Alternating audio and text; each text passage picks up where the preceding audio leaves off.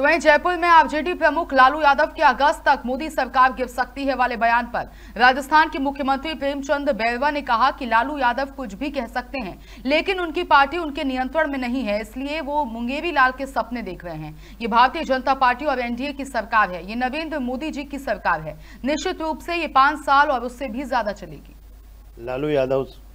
कुछ भी कह सकते हैं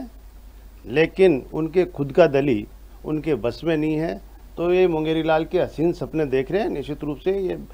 भारतीय जनता पार्टी और एनडीए की सरकार है माननीय नरेंद्र मोदी जी की सरकार है निश्चित रूप से ये पाँच साल और पाँच साल आगे भी चलेगी